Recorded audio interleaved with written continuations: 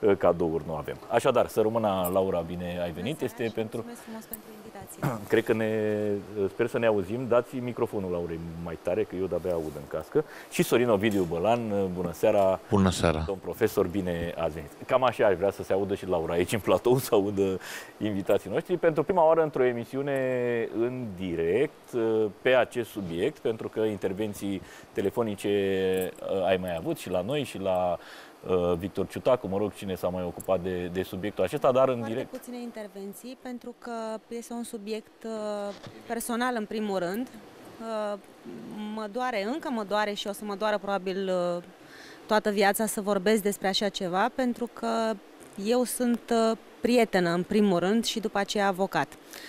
Uh, Am acceptat uh, să vin pentru că sunt o grămadă de speculații care, din punctul meu de vedere, trebuie lămurite. Lucrurile au luat o rasnă, cel puțin în uh, ultimul timp. Da. Și pe măsură ce se derulează emisiunea, aș vrea să punctez și eu anumite lucruri care au fost uh, prost înțelese, oamenii au fost arătați cu degetul uh, din motive nejustificate, spun eu, și cred că e momentul să lămurim toate aceste Asta, uh, asta, aspecte. a fost, asta a fost și intenția noastră și bineînțeles că invităm și pe telespectatori dacă au întrebări punctuale pentru tine uh, ca și avocat a familiei sau mă rog uh, uh, pe alte, pe alte uh, discuții pe care le-am avut aici la care ai putea să aduci lămuriri, îi rugăm să o facă la 1272. Hai să începem cumva cu cea mai proaspătă informație, cea pe care noi am, uh, am uh, spus-o aseară vis-a-vis de, de aceste harduri uh, în jurul cărora se, s-a creat această uh, competiție. Spuneam cu Sorin că parcă a fost un, uh, nu un maraton, un sprint. Cine ajunge primul la casa lui Răzvan Ciobanu după ce acesta uh, uh, își pierduse viața uh, pentru a ajunge la aceste harduri. Uh, Marius, uh, de fapt Sorin uh, spune că Marius îl mâna de pe drumul din Timișoara pe care se afla, du-te repede și ia hardurile alea, toată lumea se înghesuia să ia fiecare de, uh, uh, ce a avut de luat, uh, care v-am mai spus aseară, fiecare ba o lustră, ba o pungă cu haine, ba nu știu, dar hardurile rămân în principal miezul acestui și mărul discordiei. Tu ne-ai spus, de fapt noi am aflat și tu ne-ai confirmat că pe aceste harduri nu se aflau uh, imaginile despre care vorbea toată lumea și de care se speria chiar și Marius însuși. Adică el de unde știa că ar trebui să fie niște imagini compromisătoare dacă ele nu sunt? Marius a vorbit cu Sorin Oprea, cred că de două sau de trei ori în viața lui. Deci asta este din start uh, o minciună pe care astăzi o demontez. Da. Uh, Marius l-a cunoscut pe Sorin Oprea la lansarea, la un eveniment de la magazinul uh, acestui domn, acestui domn Oprea. Da. Uh, și au mai vorbit o singură dată, m, cred că în jurul datei de, habar n-am, oricum recent, nu avea o relație de prietenie, Marius nu este confidentul domnului Oprea, în toată această perioadă de timp Marius nu a vorbit cu domnul Oprea, dovadă este faptul că domnul Oprea a făcut rost de numărul de telefon al lui Marius de la o prietenă comună, al cărei uh, nume nu, nu-l dau, pentru că nu am acceptul doamnei. Uh, L-a sunat, uh, prima dată i-a dat mesaj uh, lui Marius și după care l-a sunat să îl întrebe de numărul mamei uh, lui Răzvan.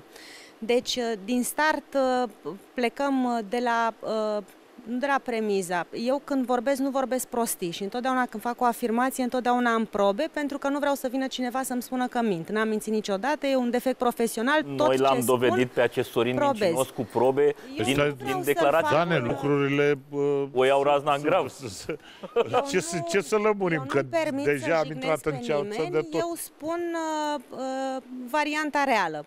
Acum, dacă altcineva dorește să susțină altă variantă, este Păi, strict... uh, Sorin însuși ne spune că Marius... uh, E problema prietenul dânsului lui- ce susține, eu vă Și spun atunci- care este adevărul Corect. pe Și care atunci- pot să-l probez cu mesaj. Doamna Cu Vicol, absolut pentru tot. că Vă rog. sunteți din interior de acolo, că eu tot mă tot întreb așa, una din întrebările care nu mă frământă și nu-mi dau pace, este ce caută acest Sorin Oprea la o oră și jumătate după ce se întâmplă, să uh, dă știrea cu accidentul, ce caută acasă la victimă? Asta vreau eu să întreb. Un om care, De ce după tocmai cum el a fost spuneți, a trimis vorbit de acolo? trei ori cu el la telefon. Vă dați seama că noi tot ce facem acum în acest moment cu privire la domnul Oprea sau cu privire la alte personaje pe care eu nu le cunosc, nu facem decât să speculăm. Păi Din hai să această speculăm, cauză, dar da, e eu normal să ne întrebăm? Prefer, da, cu siguranță, da, dar normal. eu prefer să mă abțin pentru că nu-mi plac uh, speculații. O altă uh, poveste foarte urâtă și uh, mizerabilă, aș putea spune, îmi cer scuze că folosesc un asemenea cuvânt, este cea legată de înfierarea părinților lui Răzvan. Toată lumea au sărit, uh, toată lumea a sărit pe ei și uh, i-au, uh, i-au călcat efectiv în picioare pentru că și-au permis să se ducă la apartamentul lui Răzvan. Vreau să lămuresc și acest lucru ca să-l înțeleagă odată pentru totdeauna toată lumea.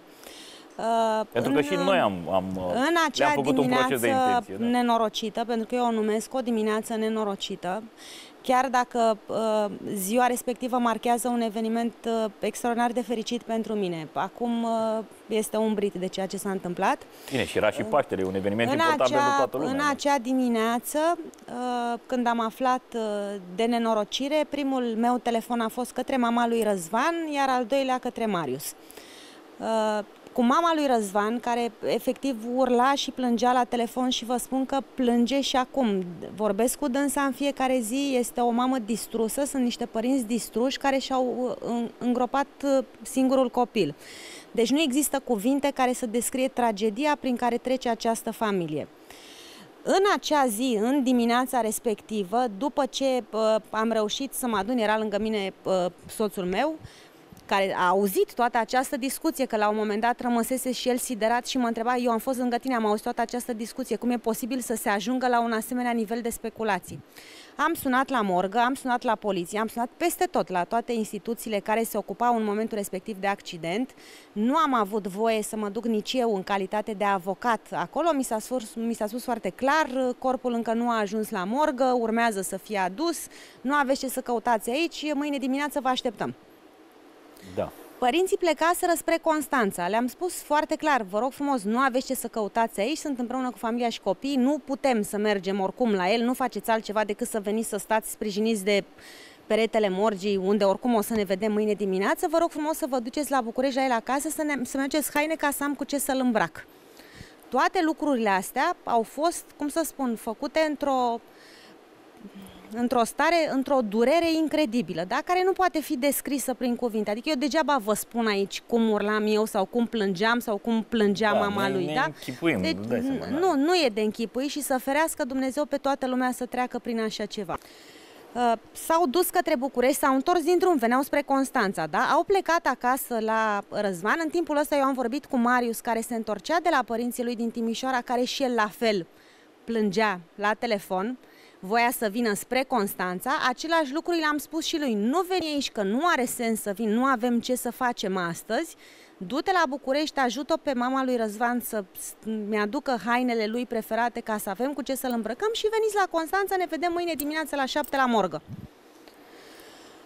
Au ajuns uh, părinții acolo, nu știu cât era ceasul, cred că ora două și jumătate, trei, habar n-am. În timpul acesta, Marius m-a sunat disperat că acest domn Oprea l-a sunat din apartamentul lui Răzvan, de pe un număr de telefon care aparținea lui Răzvan, disperat să vrea, uh, dorea numărul uh, mamei lui Răzvan de telefon. Exact asta spun. În timp ce tu îi întorceai din drum pe toți, Sorin se repezea din... la apartamentul ăla pus de nimeni, de fapt nu știu ce s-a întâmplat acolo și v-am spus, nu vreau să speculez.